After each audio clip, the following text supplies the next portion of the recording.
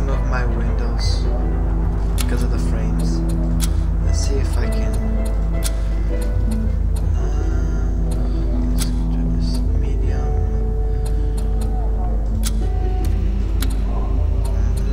Accept. And back. Looks better. Let's talk to this guy. And Let me tell your right of the bat bastard that I hold you in very little regard. What the fuck did Your father may have been a great king once, but this last decade, a crowned pig would have played the part better. And you don't like me because. He became a vainglorious fool, a sloth, and a coward. No wonder then that his own children could amass armies unperceived and strike at the heart of a kingdom in a matter of days. He tried to run, but he failed, and they slew him where he stood. Now the realm has been shattered, and vultures are picking what they can from his corpse by means of new and terrifying war machines. Great. I'd say all is lost, but Maxos insists you are to be the one, the hero, who will take back the land we've lost. Excuse me if I laugh in derision. You want me to punch you in the face, man? you are a dragon, I'll give you that. And of ancient blood. Prove to me you have the rocks to do undaunted battle, and perhaps my respect may still be yours. I have a name, you know. It's not the bastard. Aye, and you have titles as well, but none of them king, as yet. I'll address you with the right regard the day you prove worthy of it. I know your name, but whatever. Henry of the House of Lansford. More you needn't know. Alright. I shall take my leave.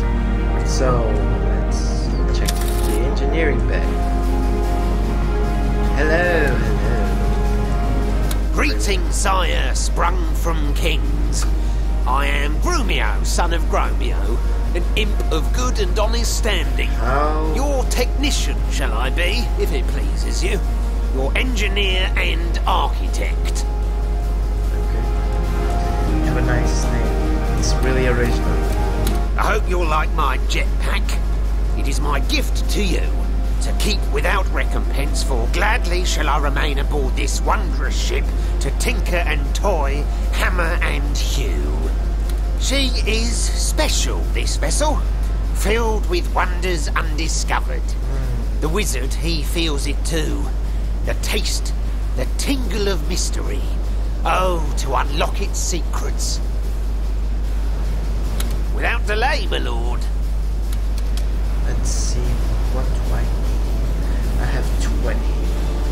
I'll this. Now. Transports. I don't use that much, but I sure use warlocks and chains. Alright, What does a spoiler look? You take over quicker. Alright. It's like, more. Let's go to the bar. Kills Louise. Let's get drunk. Huh? And there we have it, I suppose. The dragon son of a monarch deposed. Rightful heir to the throne, even if he was born out of wedlock. Where the hell? I am Lord Edmund Augustus III, Duke of Hawknest Hall. I'd add at your service, but I don't think we're quite there yet. To be perfectly honest, I'd normally entertain the idea of lending my expertise to your cause as curtly as I'd consider attending a dwarven opera. But not unlike my fellow general, it is Maxos's backing of this enterprise that has me intrigued. You have doubts benefit, Dragon. Let's see how far it takes you. Okay. When one dwells among the highest echelons of power, where ambition runs thicker than blood, distrust is your best friend, as is its brother, caution. In your case, though, the waters of misgiving run somewhat deeper. You are, after all, but a half dragon. Half dragon. They call your kind dragon knights to lend an air of nobility to a lowly mixed breed. Not many make the distinction, even, but the crucial difference is in purity. Human ancestry taints your being, for humanity and weakness are two sides of the same tuppence I drop in beggars' hats. A bastard twice are you, my lord. Bastard born and bastard bred.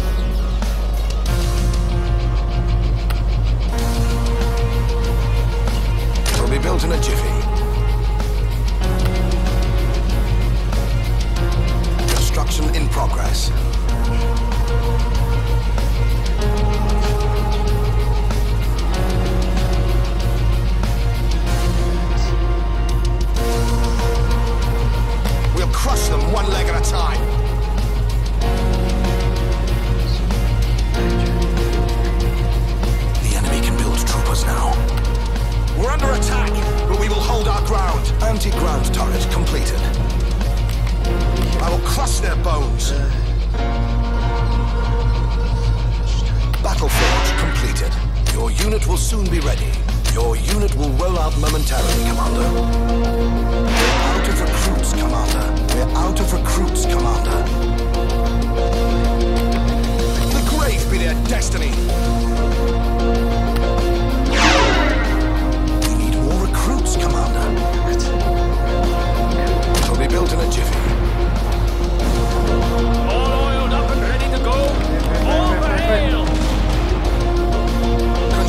to fight. Out of recruits, Commander. Slaying recruits, Commander.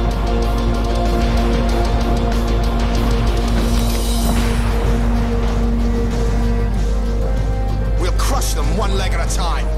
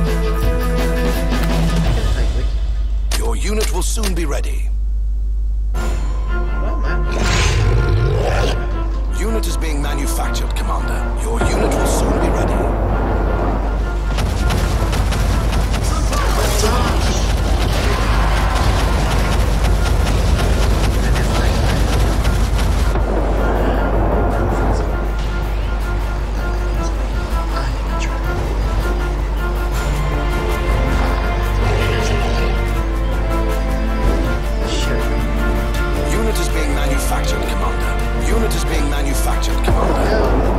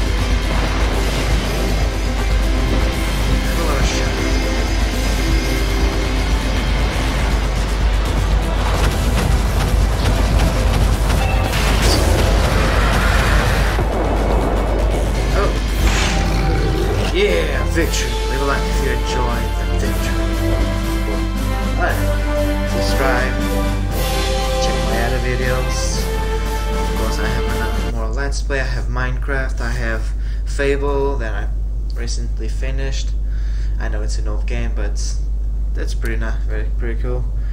And I hope you guys see you in the next one. Bye.